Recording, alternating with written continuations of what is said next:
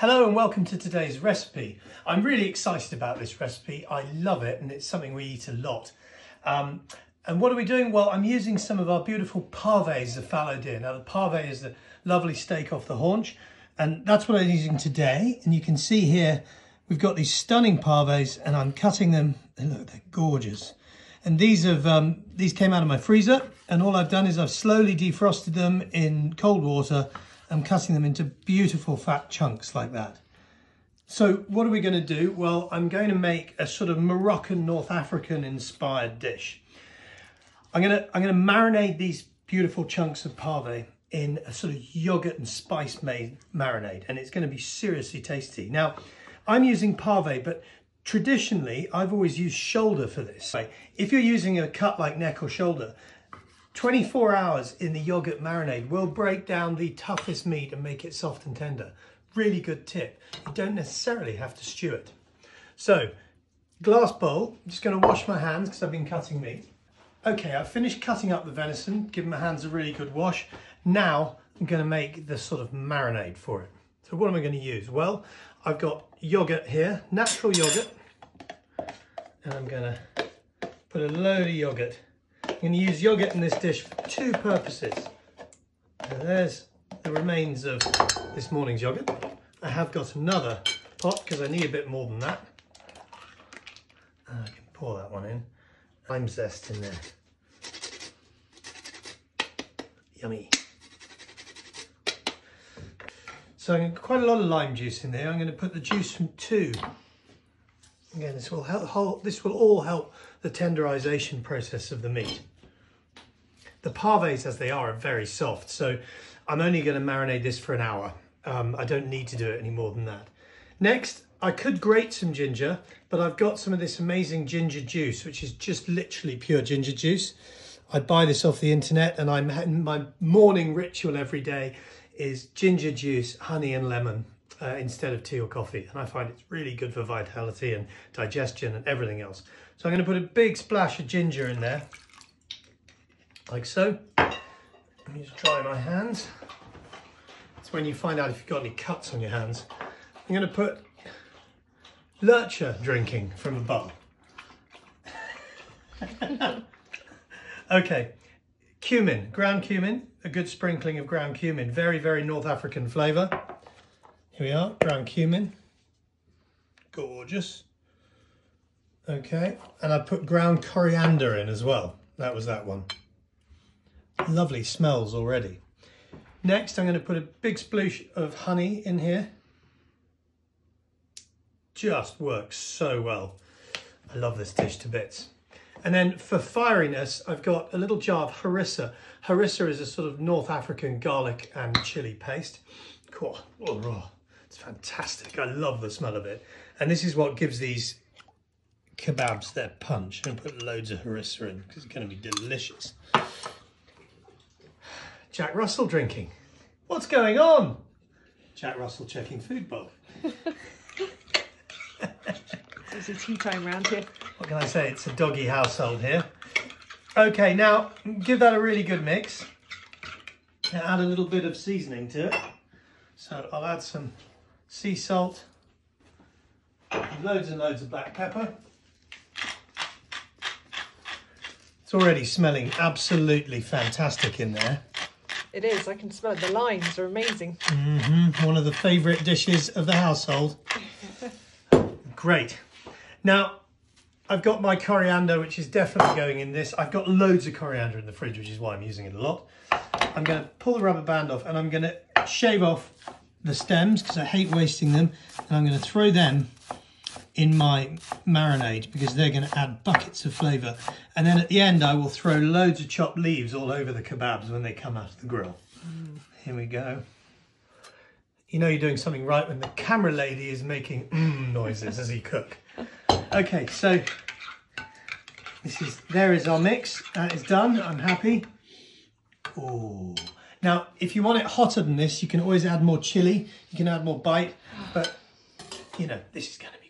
So, meat all into marinade. There's about eight pavés cut up there. So, half a leg of fallow deer or thereabouts, maybe a bit more than that.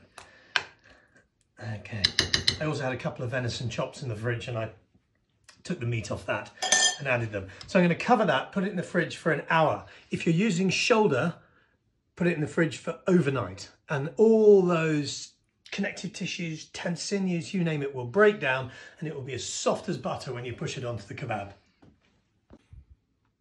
So my lovely marinade is mixing up. Now I did actually also add some mint from the garden, which I forgot to put in earlier. Sliced a bit of that up and popped it in. Mint's a lovely flavour in these things. So for my flatbreads, very simple things to make. Self-raising flour, so I'm not using yeast because I don't want them to puff too high. I want them to be like that and spongy, so when we wrap the kebab in them, they're all juicy and tasty. I'm going to pour um, about that much 300, 350 grams. I'll take a flyer out like that. That'll do well. I want to do, well actually maybe I should make more than that because I'm going to do 500 grams or thereabouts. 500 grams therefore is a third of a bag of flour. Okay, bags of flour tend to be one and a half kilos. Okay, 500 grams also equates just over a pound in weight.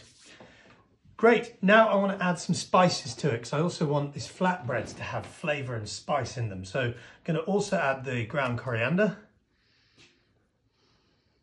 How much determines uh, how spicy you want your flatbreads and my cumin. And plenty of salt because breads like this need to have need to be seasoned correctly. Like so, gorgeous. I'm going to add a teaspoon here of baking powder, which I'll estimate. There we go. That's lovely. And pepper.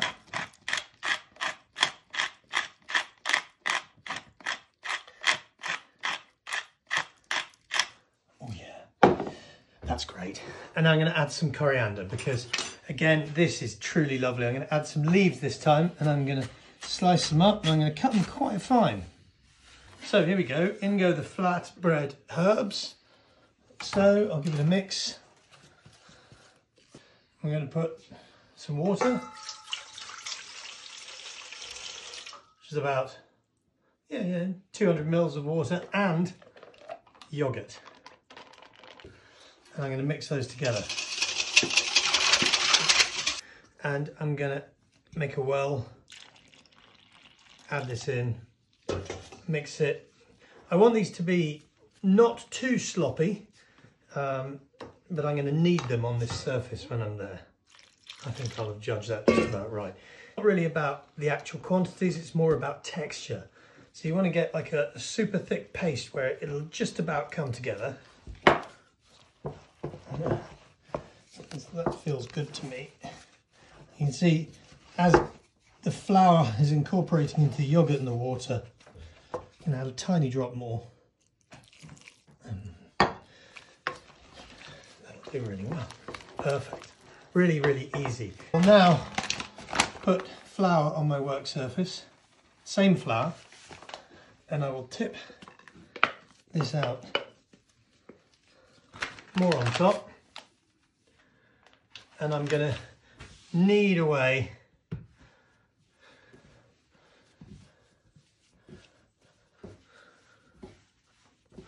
Lovely. And you see, if you start with it a bit sloppy and then you gently knead it, the excess flour in, you're getting a lovely soft ball of dough.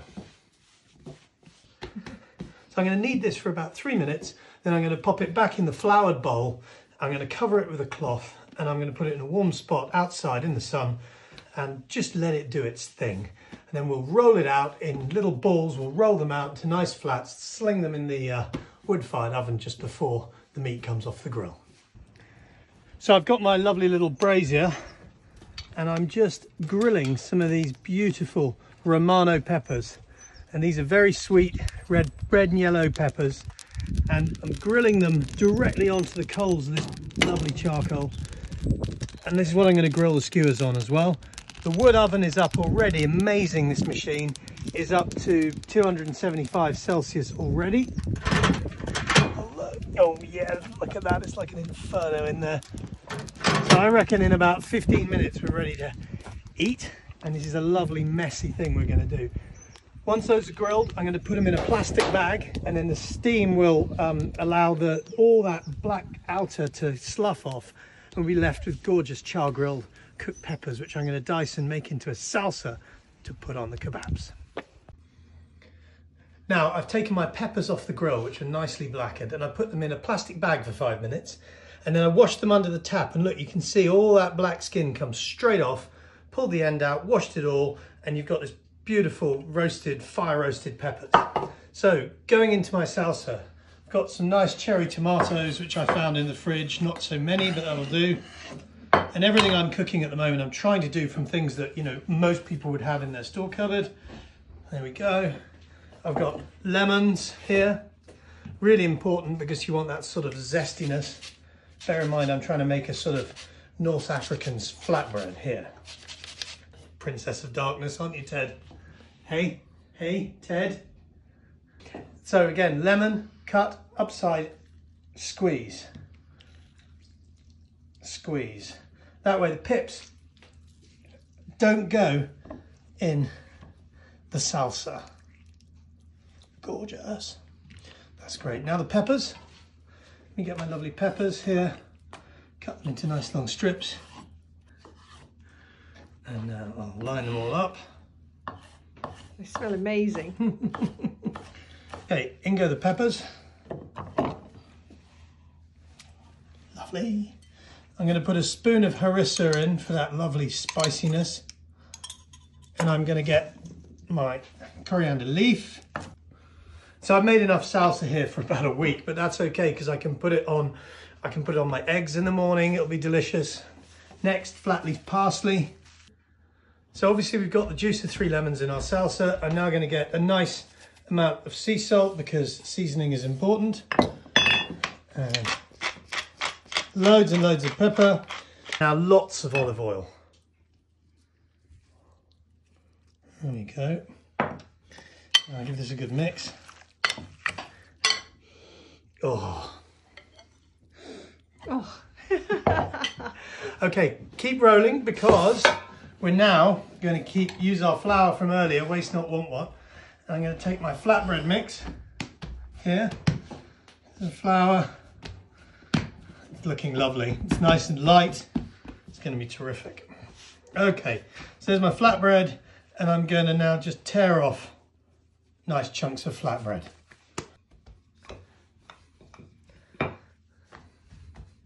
Now, as long as my flatbreads are, are vaguely round, I'm happy. And I want them big enough to be able to take the contents of our, our skewers. So there's a lovely one there, loads of flour. Keep going. So um, everything's up to heat. My brazier, my wood oven, they're all nice and hot. And I've got some of these fabulous um, kebab skewers. Now, I bought these ages ago and, uh, and I love them. And they're very Middle Eastern, these big, thick, heavy steel skewers. And because they're square, the meat doesn't slip on them. Also, as they get hot, they cook the meat from the inside. They're really good. So have a look at this. There is our marinated skewer. Beautiful yogurt-based marinated kebabs. And I'm just gonna lay them straight across the charcoal. I much prefer this to putting it on a metal grate because a, the meat won't stick to the grate. I can really control them by turning them regularly like a little rotisserie. And it's just fun, they're delicious. So while they're cooking, we can crack on and do some flatbreads. So, put a bit of flour on my peel, as it's called, my spade, and then sit a flatbread on there into the oven. Now, what'll happen is, as it hits the hot stone, it'll start to puff. I don't know what temperature it is in there, 250 to 300 centigrade, so 650 to 700 Fahrenheit. I reckon they'll take about three minutes each and they'll be gorgeous. Oh yes, here we go. So I've had this flatbread in, look at that. Gorgeous, it's all soft, it's puffy. Teddy, shut up! Um, it's soft, it's puffy, you can see it's got a bit of colour and it's just going to wrap that kebab like a dream. Okay, a little turn of the kebabs. Hello. Lovely. I'm going to move these around constantly till I'm happy they've got a real good heat on them. And if I want to just give them a last blast at the end to make sure they're done, I'll just slide them in the wood-fired oven. That'd be amazing. Now I've just poured a little olive oil over them. We have a look. Look at that venison. Cool. Okay, my skewers. Oh. My goodness, they smell special. They look gorgeous. And I love these big skewers that you can that you can just do this with because look I can they're dripping with juices. They're beautiful. I know they're going to be pink. They're evenly cooked throughout now. That little blast in the oven finished them off. Just look at those. Throw a little handful of seasoning on them boom. Okay I think it's time to assemble. I'm going to have the first one. So, first thing to do, I should let this rest a bit longer, but I'm hungry. I'm going to pull them off into there. So, it's a heck of a dinner. Lovely big juicy pieces of wild venison in there like so. The amazing salsa with the roasted peppers and the harissa. Look at that. Let's fold her up. This is messy. I always recommend this is eaten standing up. mm. mm. Oh my goodness, that's so tasty. Mm. Loads of juice, it's really moist.